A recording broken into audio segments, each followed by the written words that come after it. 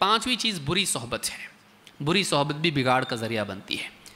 उमर इबन ख़त्ताब रदी अल्लाह तन कहते हैं, वला तमशिमाल फ़ाजिर फ़युल्लिमा कमिन फजूरी ही फ़ाजिर के साथ बद किरदार इंसान के साथ तू चल भी मत।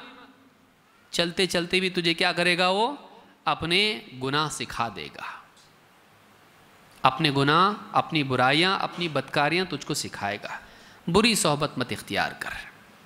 तो बाज़ अवत बच्चे नेक होते हैं, अच्छे मिजाज के होते हैं, बाज़ अवत कुछ पारे हिफ्स किए भी रहते हैं। कॉलेज में जब जाते हैं, उनको दोस्त बुरे मिल जाते हैं। उनके साथ में मैं भी तुम्हारे जैसा बन सकता, करने की कोशिश में वो सब करता जो नहीं करना चाहिए।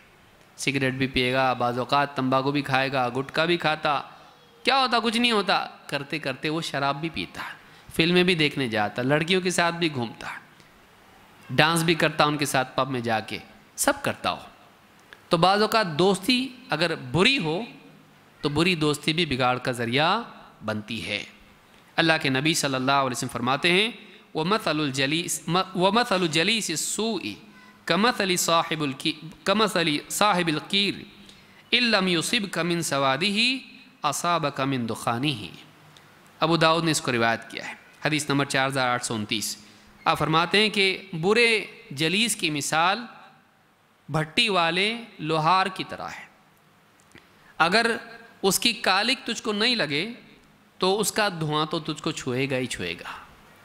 यानी अगर वहाँ की जो है, सब कालिक वहाँ पे रह, रहती है, गंदगी, नजासत या जो भी चीज़ें रहती हैं, उसके धब्बे तेरे लिबास पे अगर ना भी लगे, तब भी जो भट्टी का धुआँ होगा, वो तुझको पहुँच के रहेगा। तो एक इंसान अगर बुरे लोगों के साथ रहे, बुराइयाँ उसमें आएँगी आज नहीं आएँगी, धीरे धीरे धीरे धीरे आएँगी।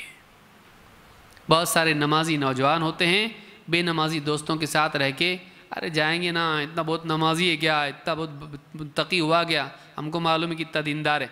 ऐसा करके उसको बेनमाजी बना देते हैं। ऐसा करके उसको क्या करते हैं? बेनमाजी। सिगरेट। अरे, तू सिगरेट नहीं पिया आज तक? कैसा है? देखो ये, सिगरेट नहीं पिया? मज़ाक हो गया उसका। ला ज़रा, मैं भी एक फूक मारता एक सिगरेट पीता उसके साथ आदि बनता, फिर वो बाएँ हाथ से करने वाला बनता। स्टाइल में एकदम खड़े होगा, कॉलेज के गेट के ऊपर हाँ यूँ करेगा एकदम, शर्ट इन, आधा शर्ट बाहर, आधा अंदर। स्टाइल में। तो बुरे दोस्तों के साथ रह के वो ये करता है, बुरी सोहबत। तो ये नौजवानों को इससे बचना चाहिए।